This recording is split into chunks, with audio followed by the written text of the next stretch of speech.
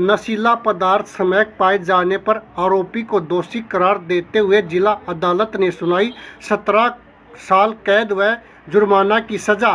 सदर थाना जींद के तहत मादक व नशीला पदार्थ अधिनियम के उल्लंघन के एक मामले में आरोपी नरेंद्र वासी गाँव राठड़ जिला जींद को अदालत एडिशनल सेशन जज श्री सुभाष चंद्र सिरोही की अदालत ने 17 साल कैद व एक लाख सत्तर हज़ार रुपये जुर्माने की सजा सुनाई है। आरोपी के कब्जे से सीआईए स्टाफ जींद द्वारा 2020 में 710 ग्राम स्मैक बरामद की गई थी।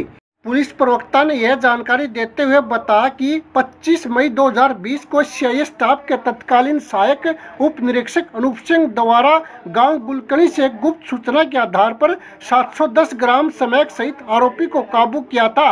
आरोपी को नशीला पदार्थ सहित काबू करके उसके खिलाफ सदर थाना जींद में एनडीपीएक्स एक्ट के तहत मामला दर्ज किया गया। वह मामले की जाँच के दौरान तमाम सबूतों के साथ आरोपी को अदालत के सामने पेश किया गया।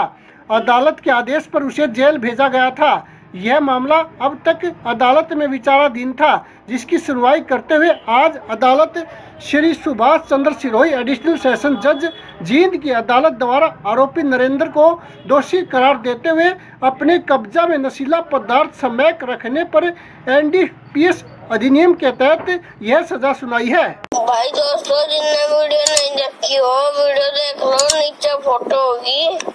उसे क्लिक कर दो, लाइक कर दो और सब्सक्राइब कर दो।